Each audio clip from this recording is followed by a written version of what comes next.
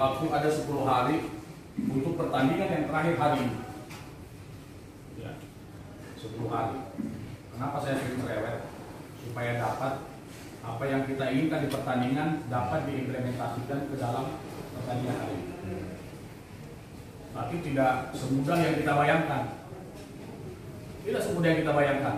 Kalau kita tidak mau kerja keras hari ini, ya, rasa kebersamaan itu kita mau ke lapangan, kita kerja keras hari ini.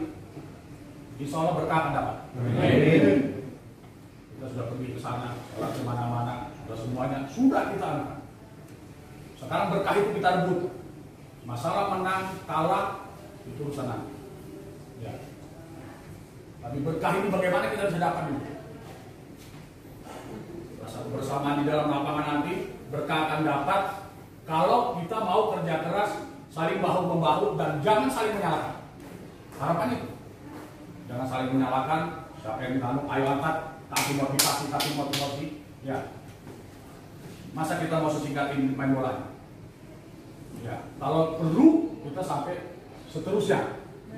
Sampai lawan besar. Kalau perlu kita sampai apa yang diharapkan manajemen ke Liga 1. Semuanya bisa, tidak akan tidak mungkin tidak akan bisa.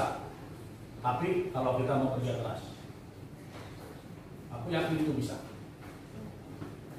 Hari ini kita turun, jangan sampai tertunduk. Dan kita pulang pun jangan sampai tertunduk. Dan kita berangkat besok dengan hati yang senang. Itu bisa kita dapat apa? Kalau kita mau kerja keras. Semuanya pasti kerja keras. Ya, habis-habisan. Tidak ada lagi habis-habisan hari ini. Ya, aku harap kita mau sama-sama kebersamaan di luar lapangan, di dalam lapangan sampai pertandingan kita bisa tersenyum. Bisa tidak? Bisa. Ya, terima kasih. Terima kasih keterangan sudah main. Oke, sudah siap? Ya. Tenang pemain, tinggal gawang, Alek. Gimana, Luki?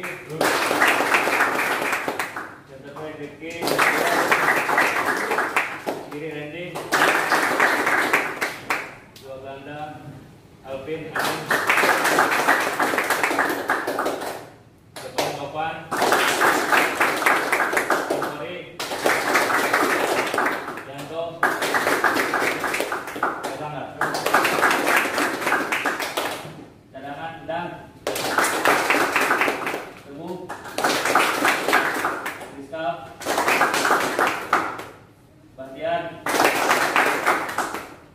Mancan. Reja. Pandi. Dipan. Denis. Kresna. Oke pemain.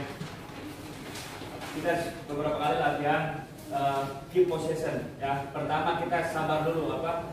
Kalau bisa sebisa mungkin jangan sampai hilang bola. Ya, mulai apa? Mulai main di area tengah. Terserah nanti Alex mau main build up atau mau direct, tapi jangan terburu-buru ke depan. Ya, saya lihat Pak matchnya Persiba sama seperti kita di dua pertandingan terakhir. Mereka selalu center back-nya up. Artinya kita kalau bisa memainkan posisi di tengah, ball pass dengan striker, curi ruang-ruang kosong, main kombinasi play, kita bisa memanfaatkan uh, area ini untuk bisa cetak gol. Nah, terus untuk bertahan seperti kemarin kita tunggu di dua per tiga retreat, jangan langsung pressing, tapi mulai arahkan, jangan nunggu, mulai arahkan geser ke kiri. Kalau memang bisa di press, langsung pressing. Kita cari apa uh, keras di tengah. Harus pressing di tengah jangan sampai mundur apa mereka dribbling dribbling mundur mundur bisa melakukan shooting. Masuk ke area pertiga ini dua apa di area tengah ini langsung press. Oke. Terus uh, ketika overlapping sorry dengan Lucky tidak selalu harus apa tukar posisi. Kalau memang bisa Lucky langsung turun, turun aja normal. Lucky turun, sorry ke dalaman. Nggak selalu harus langsung ke belakang, Lucky stay di sini. Ya, itu hanya sesekali. Oke, jam pemain. Terus di belakang mereka pakai empat. Jadi empat dua si ini nomor tujuh. Kalau nggak si Mariano atau si Yogi di striker. Jarang sekali mereka main connecting. Mereka selalu direct ke area-area kosong karena sini nomor 7 ini sini predisir cepat sekali. Jadi saya pulang, repeat, antisipasi, drop back ya. Mereka pasti direct direct ke area sini. Dapat bola tenang, jangan terburu-buru, main dulu. Kalau memang bisa build up, build up terus. Lucky kalau bisa main ke angin, ke Alpin, main dulu. Iya. Jangan langsung ke direct ke depan. Ada momen baru apa penetrasi ke area depan. Oke, pemain hari ini tidak mudah pertandingan terakhir, tapi kita harus optimis ya, karena dengan optimis semangat akan terus ada di kita. Siap pemain? Ya. Oke, terima kasih. Bola mati. Bola mati. Bola mati di stadion. Ya, ya, ya.